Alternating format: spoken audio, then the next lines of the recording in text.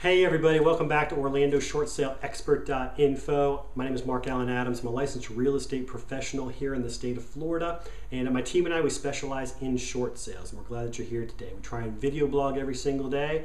Um, I think we're around 70 or 80 videos right now. And we're just trying to get information out to you. We want this to be a resource uh, for those of you out there who are just trying to make a good decision, a good educated decision for yourself about what to do with your property. And so we're glad that you're here today. Now, what we're going to talk about today is how do you know who to hire to help you do your short sale? I mean, this is a great question. There's um, short sales are kind of the hot the hot topic now out in the real estate world, just because you know 70 plus percent of the real estate transactions that are that are have been done um, last year in the state of Florida, they're all short sales and bank owned properties. I mean, we're just in a distressed market. So now with that, comes a whole lot of people claiming to be short sale experts, and uh, and now they've the real estate industry has created a bunch of what they call designations um, in order to you know give people some credentials uh, that they are short sale experts. And you know if you're out there and you're looking, uh, you're obviously here, you're doing your research. Uh, you, you kind of want to know, hey, you know, who, who can I trust? Who's going to be able to help me do my short sale?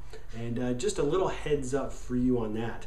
Um, anybody who comes to you with a certain designation, and I'm not going to say the names because I don't want, to get sued, but uh, a designation basically is just you've been to a three-hour seminar on, uh, on, on, on distressed real estate, and a designation does not make an expert in short sales. Um, so if anybody comes to you and says, "Hey, I have a certain XYZ designation," um, or they have that plastered all over their website, uh, do not be um, impressed with that. It, uh, anybody can go out and spend a couple hundred bucks and get a designation.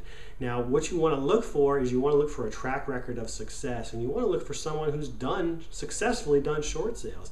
And you know, if you've done, if you find someone who's maybe done five, maybe five, closed five successful transactions, five short sales this year you know, these people start to have a clue. Now, it doesn't make any, them an expert at five, but it, um, it kind of gives you an idea that, hey, they might have a clue, they've been through this before.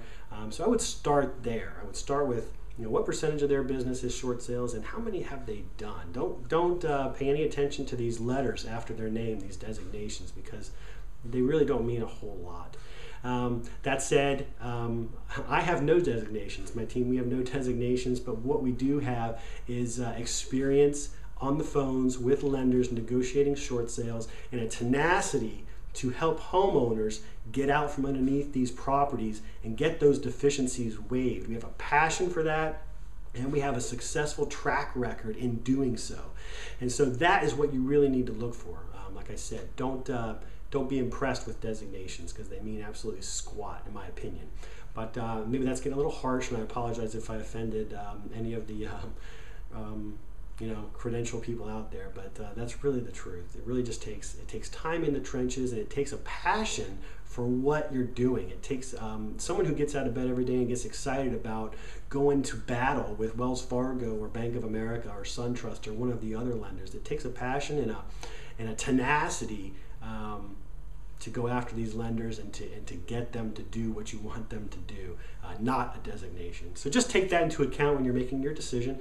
And um, like I said, my cell phone number is on the website, so give me a call with any questions whatsoever. Um, there's no obligation at all. Now, to get more information about short sales, go ahead and click this link. It's right over here if you're on our website, orlandoshortsaleexpert.info. And what you'll get is a document of information, a list of information that you're going to need to collect in order to do a short sale. It doesn't matter who your lender is, they're going to want that information. You know, it contains you know bank statements and pay stubs and tax returns and all of that stuff. It's a pretty thorough list, so go ahead and grab it. And um, or if you just have a quick question and uh, you want to talk on the phone, go ahead and give me a call. Um, if you're on YouTube.com, go ahead and click on the uh, Orlando Short Sale Expert link right below this video, and that'll take you to our website. And my cell phone number is plastered right across the top for everybody to see. So just call with any questions. Um, that's it and uh, for today's episode, and we will see you tomorrow.